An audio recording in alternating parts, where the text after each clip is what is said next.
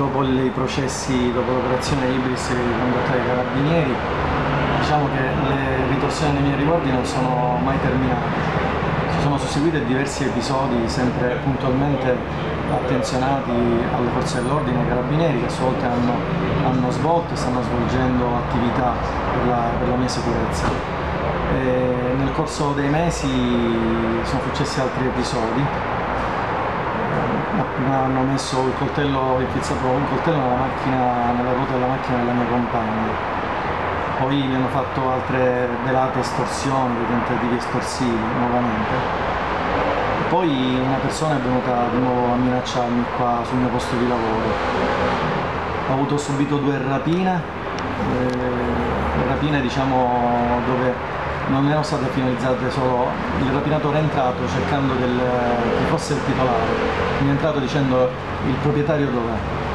Questa è stata la prima, la seconda successiva rapina che poi si è svolta dopo due giorni.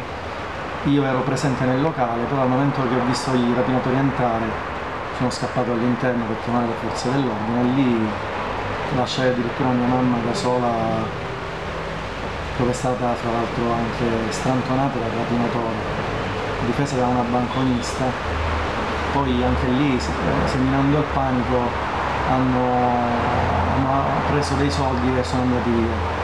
Quindi nel corso di, di, di dopo i, processi ho anche, mi è arrivata una lettera intimidatoria, che ovviamente è stata pure attenzionata dall'arma dei carabinieri che mi è stata sempre vicina. E ho avuto anche la notte alle due e mezza del mattino lo stuzzicadente nel campanello ovviamente lì sempre attenzionato tutto da, dalle, dalle forze dell'ordine. Poi da poco ho cambiato casa e sono venuti anche a casa nuova alle 11 di sera bussando dicendomi di aprire il portone eh, che era pubblicità che ma alle 11 di sera non l'hai capito apri il portone. Questo è pochi mesi fa. E nonostante la tutela qualche personaggio noto rionale è entrato dentro la mia pasticceria nonostante avessi la tutela, non si sono minimamente preoccupati di entrare all'interno del mio locale. Io nel corso di questi anni, dopo tutte queste minacce che lentamente ho subito, ho avuto dei problemi psichiatrici, io sono in cura con il neuropsichiatra dell'ASL, quale poi le associazioni anti-hackett mi hanno mandato una commissione medica ospedaliera dove sono stato visitato e sono stato, ho avuto riconosciuto un'invalidità perché adesso soffro di attacchi di panico, non ho, sono sotto farmaci, quindi ho crisi di pianto, di, di paura, perché sto bene a che svengo per gli attacchi di panico perché penso che mi sta per un infarto. Si sentirebbe di chiedere qualcosa a queste persone, tra virgolette?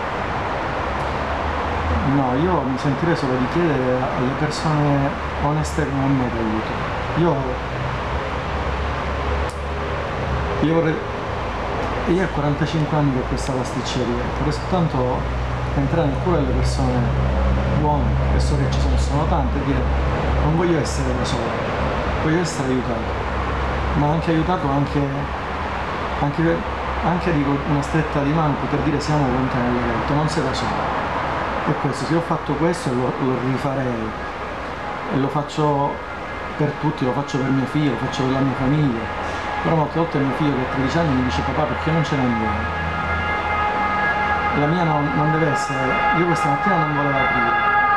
Perché Ignazio Cutro sapendo, sapendo la sua storia dice non voglio che tu chiudi la tua attività. Ho detto guarda io non ce la faccio più io non ho, non ho le forze perché in questo periodo di di, di, di minacce che ho subito. Ovviamente ho lasciato la mia compagna sola all'interno della pasticceria. Anche lì lei si è trovata sola. E molte volte anche inizia a avere, non dico forse problemi in famiglia, ma un pochettino dico, la mia famiglia si sta deteriorando tutto. Perché anche mia moglie dice sì, dice tu la tutela te ne vai, io sono solo paura. E dopo gli ultimi episodi è stato inseguirsi ecco, nonostante la tutela pensavo di essere al sicuro che nessuno potesse più venirmi lì invece ricordo le parole che mi disse una persona che fece arrestare che mi disse dice a lungo andare te la faremo pagare, tu di qua te ne andrai. Dopo gli arresti una persona venne qui, che poi fece arrestare a suo volta e mi disse c'è a lungo andare tu da qua te ne andrai.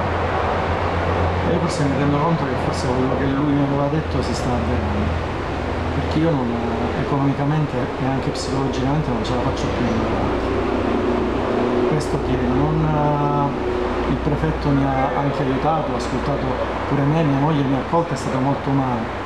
L'Arma dei Carabinieri mi è stata vicino, le associazioni mi sono state vicine, sono stati tutti vicini. Io vorrei che l'opinione pubblica potesse veramente dire noi siamo con te, non da solo con questa battaglia in questo arrivo, noi siamo con te. Questo chiedo, Thank you.